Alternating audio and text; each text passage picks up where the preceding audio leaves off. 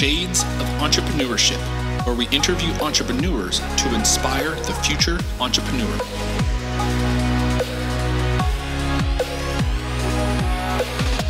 I'll be your host, Mr. Gabriel Flores. So grab a drink, sit back, relax, and enjoy the show.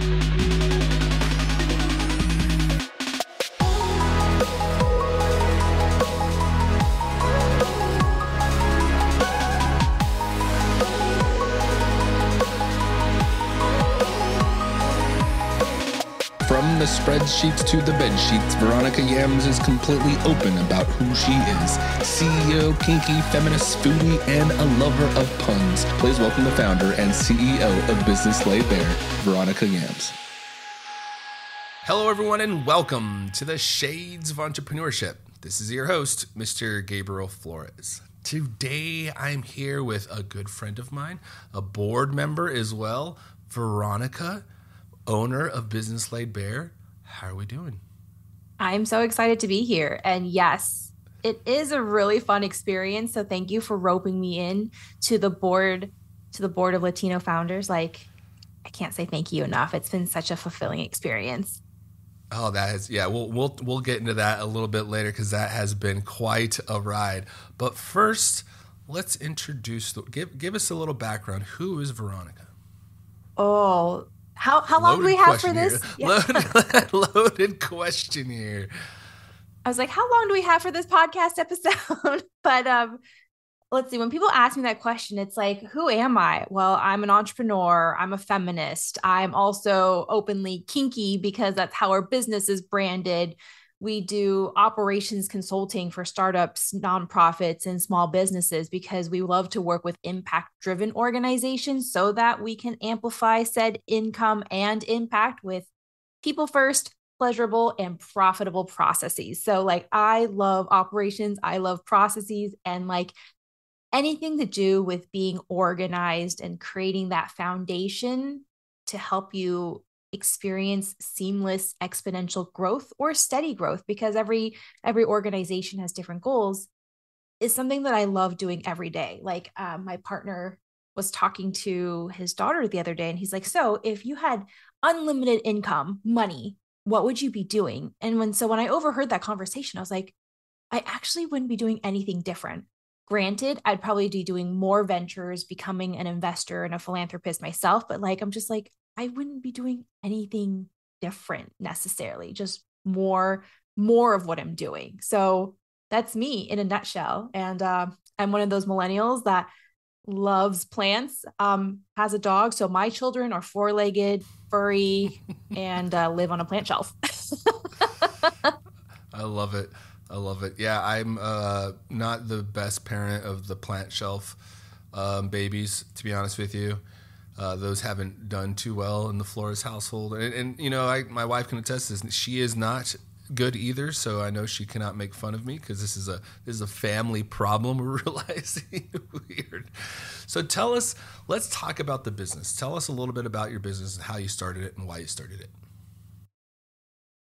Oh my gosh. So I was one of those entrepreneurs that was never meant to be an entrepreneur. I'm Chinese. And so being first generation born, here in America, my parents were like, you have to be a doctor, a lawyer, an engineer, a CPA. You get where I'm going with this. a, path that's already predetermined, stable, predictable. And so when I went to Stanford to go on that pre med track, I realized that, you know, this actually wasn't what I wanted to be doing. And anytime I have to deal with existential crisis after crisis of self identity or what I'm meant to do in life, it always comes with lots of tears and ugly crying. But then I also realized that there's always something beautiful that happens afterwards. So I just like let myself, because it happened to me this past summer. So I can talk about that a little bit. But like it happened to me this past summer and it made me realize I'm just like, this is not what I'm meant to be doing. And luckily, one of my RAs in college was like, you actually might benefit from checking out the product design department. And of course, being as ingrained in the other predetermined paths as I was, I was like, what the heck is product design? And so, but it was actually everything that I was meant to be doing, just never cultivated and cherished and celebrated in an immigrant household. And so, lo and behold, because again, this is who I am, I'm just learning that I got to do things my own way.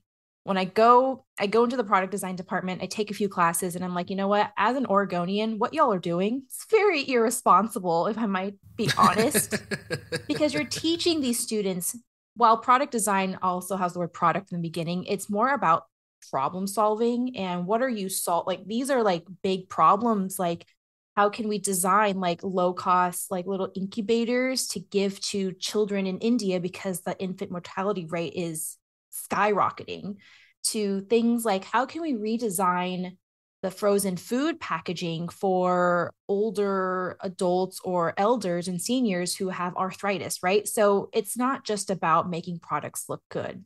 That's why I really loved product design. And so when I went there, I was like, guys, it's uh, a little irresponsible that you're not teaching about things like life cycle analysis or what happens when this product inevitably gets thrown in the trash in the landfill, right? Because I'm a native Oregonian. So I realized that if I'm going to design products, I have to be environmentally conscious. And if I'm going to design products or solutions, I want to be business savvy about it. Their curriculum wasn't about that. So I had to design my own major. And the dean of engineering was like, We have 143 majors here. Why can't you just pick one? And I said, because here's my eight to 10 page rationale as to why it cannot be just like pigeonholed. And that's how I've always been like this, like spider webby kind of person. So they're like, we don't want you ruining our reputation. Like they just flat out said, we have a reputation to protect. So if you give us this program, we most likely are not going to say yes. And we're probably just going to like reject it off the get go. So don't feel bad.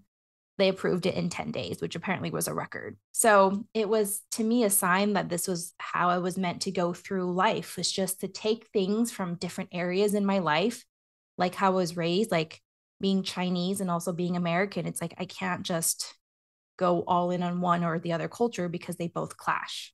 And so being able to pull things from different cultures and beliefs and practices has helped me become the person I am today.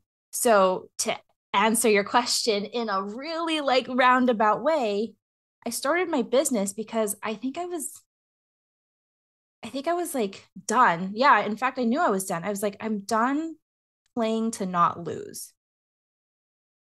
I'm ready to play to win because being Chinese, because this is such a part of my identity, it's like being cautious, think overthinking everything. I still overthink things, but it's just like I was done playing not to lose. And so I'm like, hey, it's 2020, start of a new decade.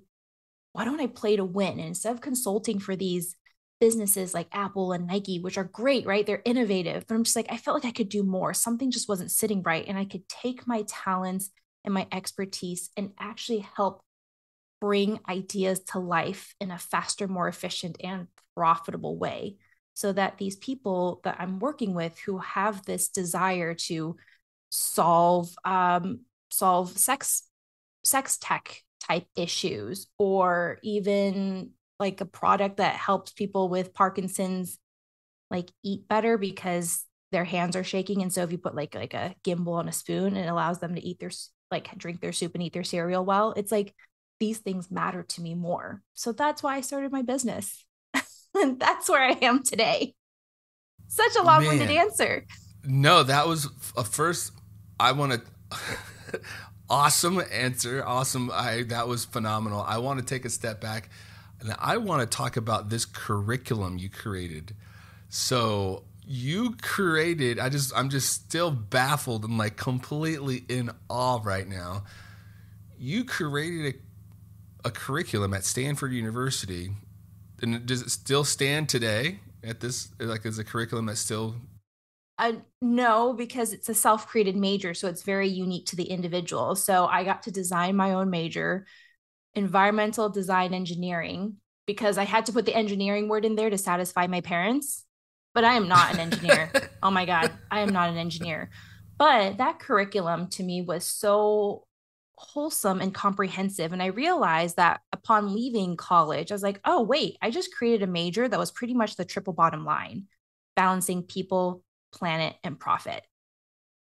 And so to me, that was such, such a empowering experience because I was like, oh, if I'm going to do this, I also want to make sure I take civil engineering classes to make sure like the life cycle analysis is great to make sure that hey if we're all t- all about not using plastic it's like have you ever considered that the raw material that makes metal or aluminum could be really environmentally intensive right? So it's like these are the conversations that we need to have that perhaps students are not having because they're just so focused on problem solving designing aesthetics which the product design program at Stanford is great. The D school is wonderful. Like that's it's it's inspired a lot of my approaches to operations today that are very human and people centered. So I mean I can't I can't say anything negative about them. It's just this is how my brain worked as an Oregonian.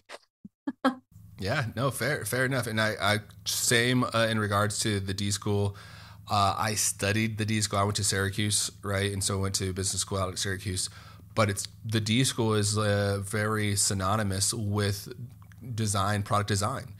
Um, putting a lot of different, diverse background professionals into a room and saying, "Hey, create something that sol," and like to your point, that solves a problem for this issue." Right. That's the best part about the D schools is they they truly do come with a problem and they say, "Okay, solve it." We're not telling you how to solve it. In fact, that's up to you uh, you, you, get your brains together and figure out how to solve this issue. Uh, a great segment, if you go on YouTube, in fact, maybe I'll put it on this week's newsletter. Great little plug to remind folks to subscribe to the Shades of Entrepreneurship newsletter. Uh, but maybe I'll put it in there. I think it actually might be in a former one too. But it, it, you know, they go in the market and they say, "Hey, create a create a better way, a more efficient way to check out." And so they created a shopping cart with a handheld checkout thing, and so it's, it's really really cool and innovative. But it's really fun. But now Let's get into the, the business. What does your business do and how does it support some other businesses? Yeah. So, what we do is we come in as depending on what the business needs, because we work with businesses that just started like they're like we this is not our this is not a new experience for me this is just a new business we want to get operations done from the get-go to businesses that are already growing and scaling. But what they're all missing and where we come in is that they lack that foundation and framework and structure that operations brings. Because getting more sales and more marketing and hiring more people never solves the root problem of lack of operations because your operations is like the backbone of any business the foundation you don't want to build your business house straight on dirt because you you can't grow and scale and have impact because longevity and sustainability are the tenants to making an impact that actually matters to changing the world because that's what I believe that these businesses can do. So what we do is we come in as fractional COOs or as operations consultants depending on what each company needs or organization needs and we first audit like hey, what's going well, what's not going well, where are you trying to go, where are you now? And then we audit and provide a strategy roadmap to make sure that they can get where they're going so that they know if you want to go here or you want to 5x your monthly revenue without burning out your team because what's the point in making an amazing profit if everyone hates where they're working at or are stretched thin right? So people first quality of life that's important and so once we complete the audit, then we're like, here, here's the plan. And you can either do it yourself, and this is where we part ways, or we can work together to make sure that all of the systems and processes, all the working multiple running parts at the same time, moving parts are well oiled, smooth, and that people are leaning on the systems and processes rather than the people because I can't remember things I can't like it, I can depend on a piece of software and a process rather than just trying to remember it all in my brain. And so when you create this really holistic strategy for yourself, because no two businesses, no two organizations are ever the same. Because if you cookie cutter something, just because something works for you, Gabriel, doesn't mean that's going to work for me because we're just inherently different people with different experiences, uh, beliefs, ambitions, drives. It's it's not going to work out. So we come in and we make sure that the business is just running efficiently and we support the team especially the operations team because we've learned with being in this industry for so long like i've been in this industry for like over well over 10 years and there's really no program that actually teaches folks how to create holistic operations without it being formulaic or robotic. And so, and this is where operations is hard. It's like every organization has different needs, but if you boil it down to what operations are at the end of the day, it's really just the how of your business. So it's two sides of the same coin. The how, your operations needs to align with your what, your vision, your goals, your aspirations, so that you can make that reality come to life. And the biggest thing that I wish that I'm working on with helping founders, executive directors, all the folks that we work with is that people know more about operations than they think. Because when they think about operations, like, oh, this is just like a thing I got to check off, or like, I'm not going to like think about it until I really have to. But it's like, if operations are the how, you literally can inform us, the business, like, hey, something doesn't feel right something is not working because or i feel like there's got to be an easier way to do this all of this are are all, all of these things are like clues that your operations need some work so we come in we make everybody run like a well-oiled machine we increase their revenue capacity we increase team happiness decrease like expenses, increase profitability, make the business organization more well oiled so that they're set for whatever growth and pivots that they want to do. Or if they want to exit and sell the company, we actually had a client that just increased the valuation of their sale because the processes were sold as an asset because it was pretty turnkey. Mm, nice. Nice. And yeah, I think that's a, you know, for the folks listening, I think, you know, when you think about running a business and scaling a business, everybody would be rich right now if they didn't run out of money right? Because everybody would keep putting money back into their business and keep growing it and keep growing it right? Until but a lot of the times is you have to look at your operational waste. Eh, what are you truly spending money on and how is that truly impacting your bottom line? Um, it happens in every industry right uh, and, and sometimes calling it like waste is I feel like just looking at your operations and, and looking at the overhead costs uh, because there's different ways uh, for you. In fact, I was speaking just recently, talking about ways to uh, lower our, our overall costs. I'm like, how do we leverage our buying power? I was talking to you know organization. How do you leverage your buying power with a vendor and get bulk or discounted pricing, right, for large membership? You know, things of that nature versus having 97 different individual accounts with the same vendor, right? That's all. That's huge. And then none of those components speak to each other because they're all individual accounts, right? And, so it's, it's, it's a. And to your point, that's a, such a great point. Like I see a theme here is that humans we're very routine driven. Even if those routines and habits are not the most efficient, people are like, oh, you got to work smarter, not harder. Well, it's like it actually takes a lot of hard work to work smart. That's why it's like, while I am not a habits expert, but as an operations person, I read a lot about psychology, habits, all that stuff, because again, it relates to the how, how you and the business take action. It's like it takes like that the 21 days or whatever to create a new habit, or they're carving new neural pathways. And this is me uh, copying and pasting what I've read because I'm not a neural researcher, but they're just like, it takes time to change how we act. And so, even though things may be what you know and it's not the most important or the most efficient, people will still lean on that because it's what they know. And that's why when we work with clients like this, there's got to be some sort of coachability and openness to new possibilities and change. And while it's going to be met with resistance because we're realistic people, it's like, how do we then help them move past that to showcase that? While it may be uncomfortable right now, look, we've added some lube to your to your process and this is how things are going to be smoother on the other side. It just takes trust in you your team and in us for us to co-create and work together to get what you want. And 9 times out of 10 it works brilliantly yeah, and that that's a great takeaway for those folks listening. It's like we have to be willing to take on constructive criticism uh, because that's the only way we're going to be able to improve. Now, you mentioned some books. Drop some knowledge. What what books are you reading? Oh my goodness! So lately, I've been on a a sci-fi sci-fi binge. But in terms of books, oh wait, things... wait, hold on. What kind of sci-fi? I'm I'm on a fantasy fantasy binge, like legit dragons and elves. I'm Dragonlance, okay. I'm I'm all about it. I'm that I'm that too. And I'm about to read Iron Flame. Like that is a book that my friend has recommended that that's trilogy. But I am all about fantasy sci-fi as well, as well as like thriller and suspense. But in terms of like business books or habit books, like things like Atomic Habits by James Clear is something that I love to recommend because while it's not exactly operations related, it informs how you decide how you want to run your business. So anything like habits related has been really great. Or even like Jim Collins is turning the flywheel. I think that's that's who the author is. That has been really impactful for me because it's like, what are the small things?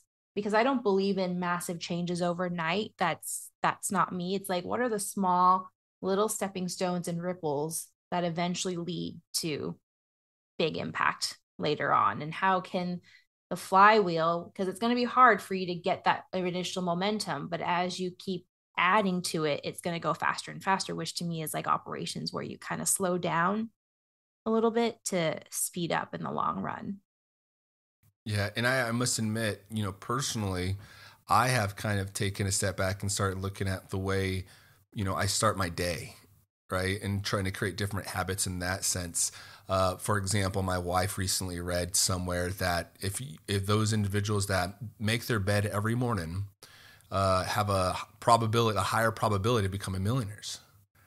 And and my goal, I'll be completely honest with you folks, my goal, I want to be a millionaire by the time I'm 45.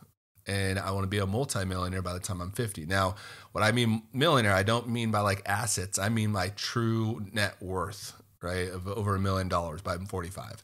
And so now because like, to your point veronica i've been starting to make my bed every day every morning i wake up and i make my bed i am you know i'm like trying to get into this habit i i try not to look at the phone often. I'm trying to drink more water. I, I keep trying to encourage folks to drink more water and hell i don't even drink enough right? But it's I just mean, you know trying to trying to change these habits. I know trying to change these habits. And so I'm, i truly did actually write some of these books down because I, even though I, I, do love my fantasy sword fighting books to kind of get me away from the everyday life, right? I still do read. In fact, you're talking about the D School Creative Confidence, or uh, I read that book recently, which is a really good book if you're looking to create, you know, product design ideas. Um, but yeah, habit books are, are, very interesting. Now, you mentioned you know earlier you, are a Chinese American woman mm-hmm. starting a business. What are some of the issues you've faced either?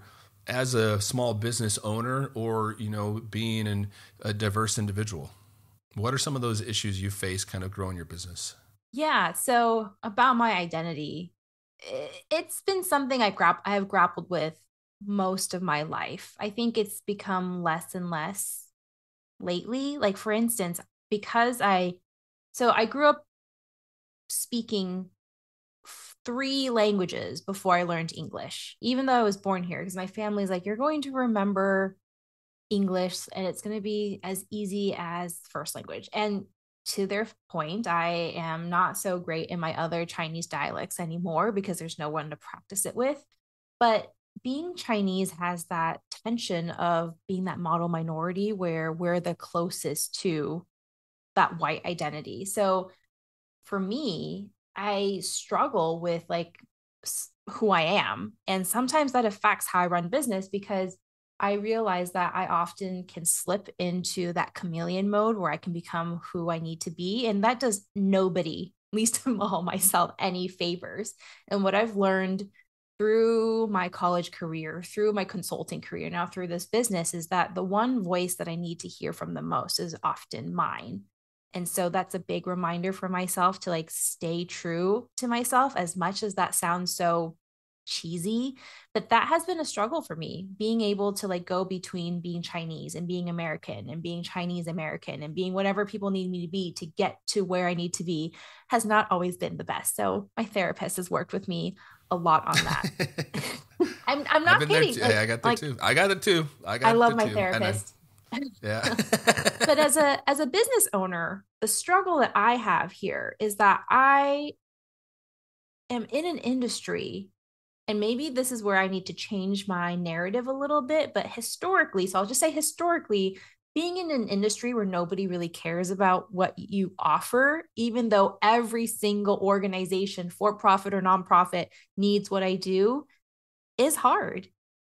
Right. I'm not as flashy as sales and marketing and branding and, you know, all that stuff. It's like what we do is like foundational behind the scenes stuff, for lack of better terms, even though everybody feels it, both the teams on the inside of the business, the customers, the stakeholders, the board members. It doesn't matter. And so that to me has been hard, but it means that it's up to me to get creative as to why people should care or focus more on marketing to people who are more say solutions aware rather than like unaware or problem aware to make my job easier. So I am not a marketer and people have often asked like why did you brand your business so sex and kink positive was it to get the attention because sex sells i'm like absolutely not because if you ask any of my friends like i am i don't believe i am of the sexy nature. It is just who i am. It allows me to be 100% myself be clever be witty without like being lewd. Like we can use those puns. We can use the double entendres. We can make people excited about operations without it being offensive. And branding my business the way that i have really is polarizing. I know right away who i'm not meant to interact with because they're like you can't use the word orgasm outside the bedroom which i respectfully disagree but to each their own to the people that are like immediately upon hearing who I am and what I do and how I brand the business and all that stuff. They're like, You are my people. Come to my house now. We got to have dinner. and so that type of business building for me has been has been both very positive and of course I have my struggles but the biggest thing that I wish that would be a lot easier is like oh why am I not in an industry that like people are trying to do this with their money and just like throwing money at me. So I get creative and find ways to market and we don't give up. And the one thing that I wish I would have learned better in business school was that your positioning and messaging and product market fit isn't just something you check off, just like operations. It's something you think about and iterate on over and over and over, if not daily. You know, one you kept on talking about brand right? And and so for the folks, uh, you'll certainly see it when we start advertising it. You'll see the brand.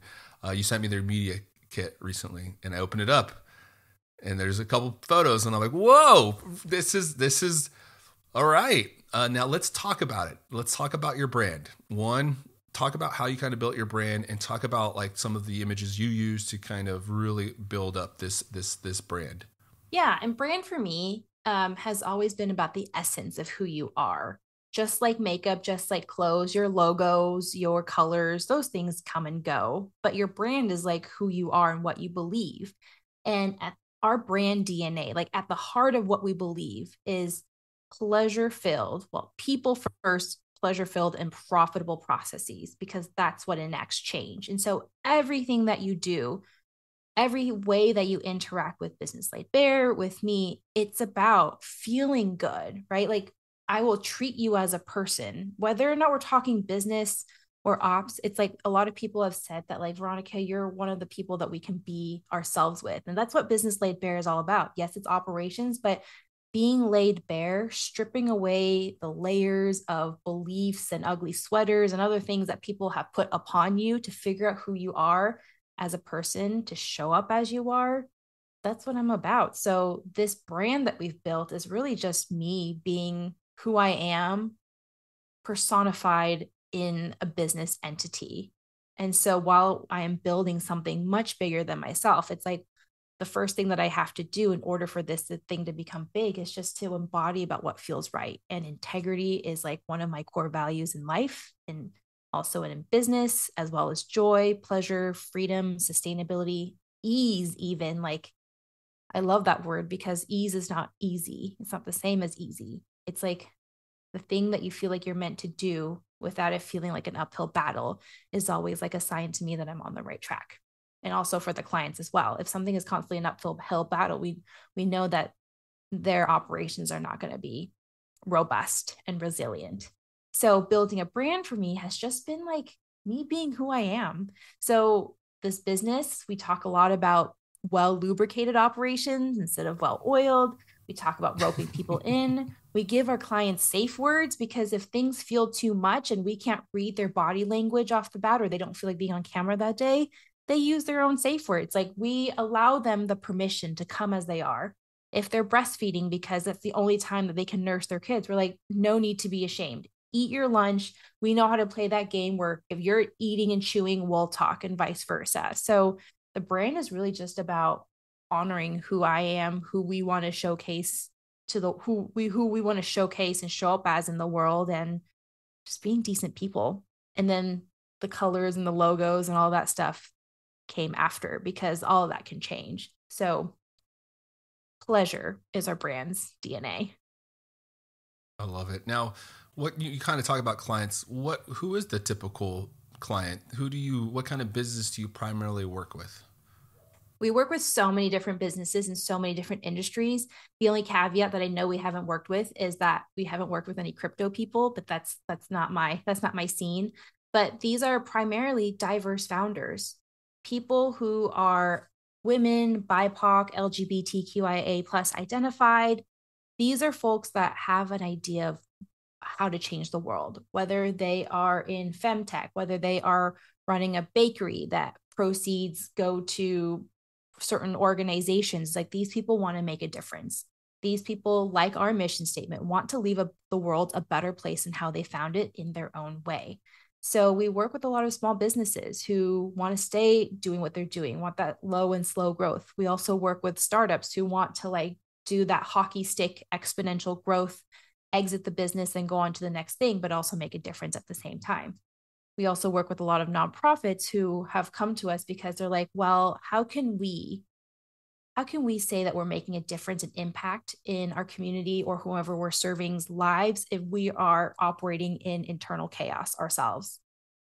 So all these businesses that work with us, they have these big visions, these big lofty goals, and they know that operations needs to be addressed so that the level that they want to be operating at next, the higher level, the business can sustain the bit the operations can help sustain that so that the people are happy are fulfilled the customers the communities the clients are happy and fulfilled. And like everything doesn't feel like a child where you have to like manage it make sure it's fed every two seconds and it's just like your organization is this full-fledged adult that can operate on its own so that the the founders for instance can take a vacation and even and be present in that vacation or not have to choose between flying across the country taking care of their sick relatives versus business things like that. So that's that's how it all shapes up. Like these these businesses i'm thankful know the importance of operations and if not we give them a little guidance before we work with them. It's like this is what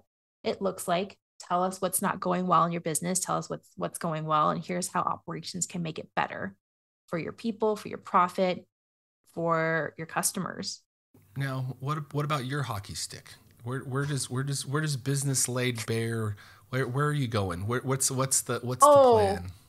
that's ah that's such a great question okay thank you for teeing me up for this not that we planned this but yes, you ready for a it. narrative because it starts it. with me All crying right, let's do it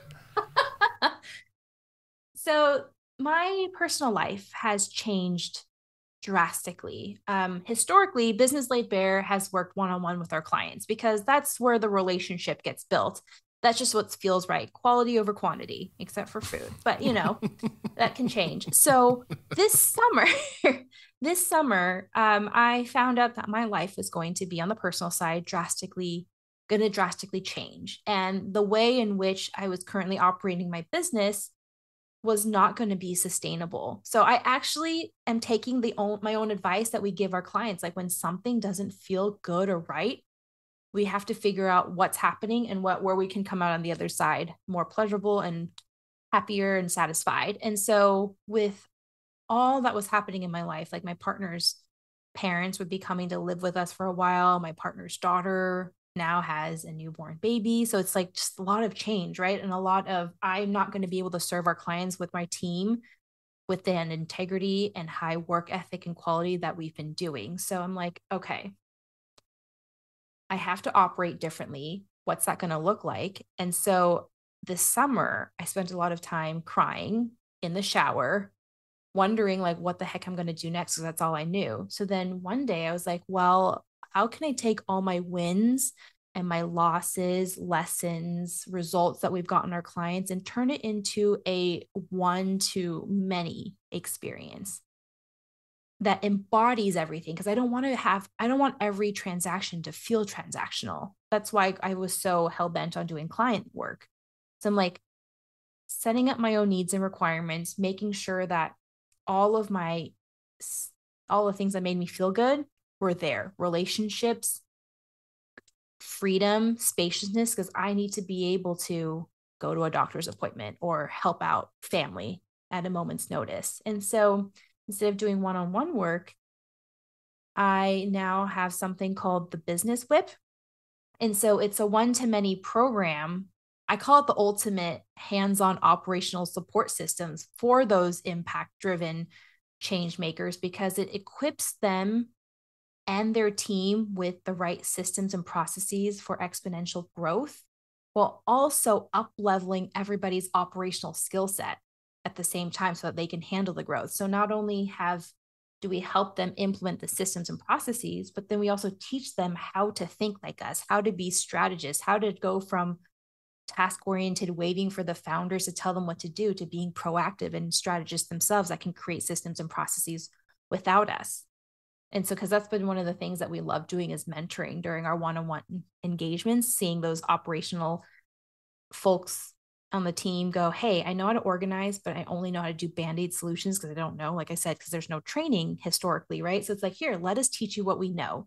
And what better way to do kinesthetic hands on learning than implementing systems and processes in the own business that you support? So, this hockey stick growth is where because it's one to many and we have live office hour days from like nine to five every Wednesday because it's hump day on brand. it's like I can have the best of both worlds. like, come to office hours, bring your automations, your process maps, have any issues that you're working through. Like, we're here, like, with you live working things out working together like we're every we're with them every step of the way and then when they're not there on office hours, they can ask us questions asynchronously in the forum. We have training content, we have templates and resources. And this offer is immensely scalable because not every single founder is going to need us at the same time. And we have office hours every week, so it satisfies all the different time zone requirements. And then for me, I only have to sit at my desk for eight hours technically on Wednesdays or whatever days we have office hours. And then the rest of the week, I can have that freedom and spaciousness to move about, to help out with family, to do what I need to do. And so now I'm not limited to just a few clients, but we can work with many different clients while feeling like everybody has that relationship need that they need to feel that we're actually their partner and also for me to make feel like nothing is just transactional. So the business whip is what I just recently launched a few weeks ago. And we already are seeing a lot of big wins in our clients' business. So I'm super That's excited. Awesome. And it's always open. So, like, if you want to work on your operations today, I'm not going to make you wait for another cohort. It's open and there's a roadmap in which you can follow. And again, again, I've not really seen a membership type or program like this where we're available for like eight hours to actually help you access to operational experts that will give you answers and to solve your problems in less than an hour because that's what happened yesterday.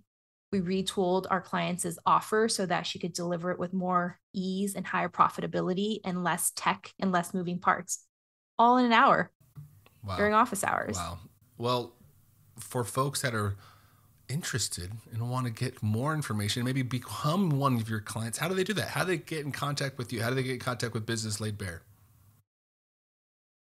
yeah. So right now, go to www.businesslaidbare.com, which is the main website. And if you go to join the Business Whip membership or www.businesslaidbare.com slash membership, you can check out what the Business Whip offers, book a call, book a tour, and we can chat about what this could do for your organization. And being that consent is everything, enthusiastic consent is everything, I will never sell if a client doesn't consent to being sold to. I will never push because that just never feels right. So when I just operate in a way that makes me feel good all around, I think like it, it just works for me. So just rest assured, this is a no, a no pressure tour because why would I want to like force somebody into opening their credit card or getting out payment when it's not the right thing? That just doesn't, that just makes the pool of clients and members like not where I want it to be. So book a tour, let's chat and see what we can do for your business or organization. Veronica, thank you so much uh, for taking the time for being on the show. Thank you so much for talking to me about your business.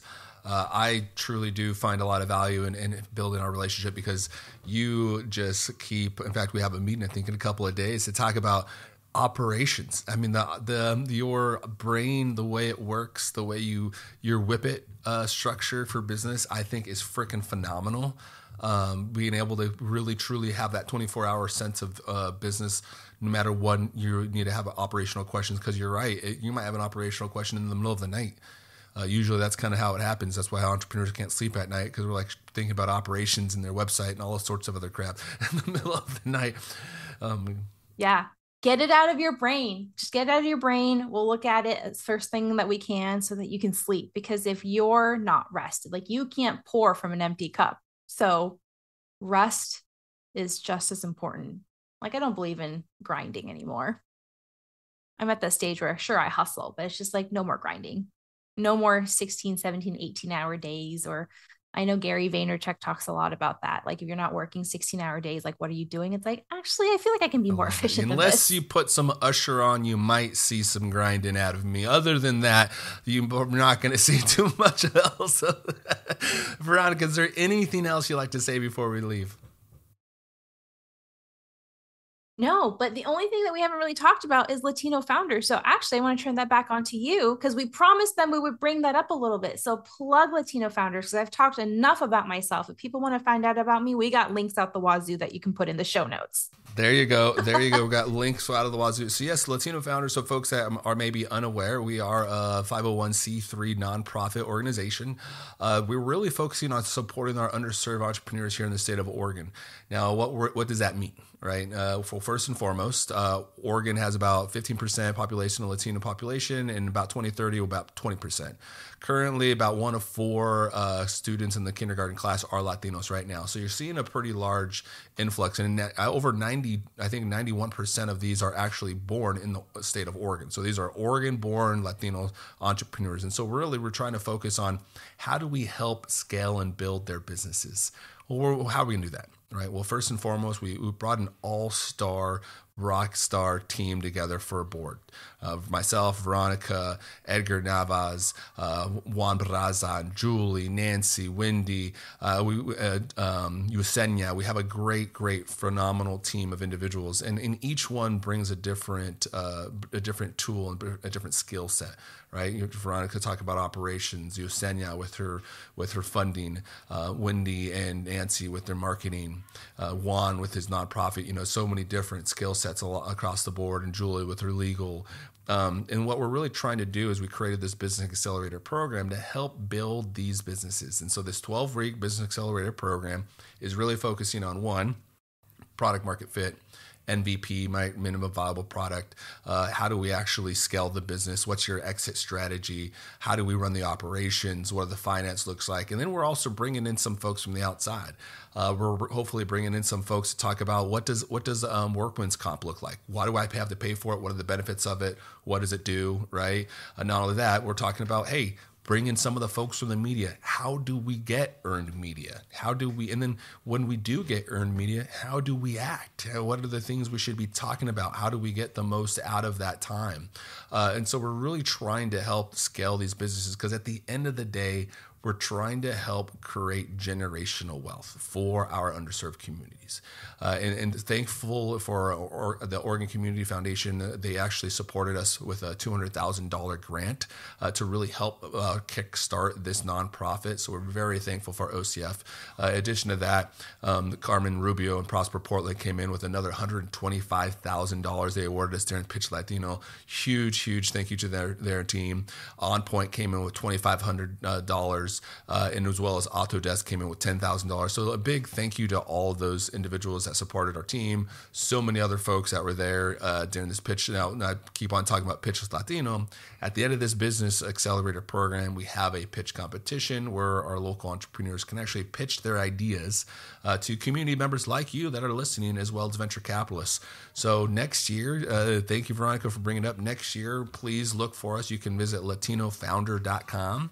Uh, in fact, we're hoping to have our next pitch competition in Redmond, Oregon, because we also know that Oregon is 98,000 square miles of beautiful greenland. And so we're truly trying to get out to the entire community to ensure that each one of our community members has an opportunity to showcase what they're doing. But not only that, ensure that our community members have an opportunity to see these uh, phenomenal entrepreneurs showcase. So thank you, Veronica, for giving me that, that little time to get on the soapbox for a little bit. But, uh, Yes, I, I appreciate uh, you coming on the show. I appreciate everything you're doing for our community and, and our uh, entrepreneurs and small businesses.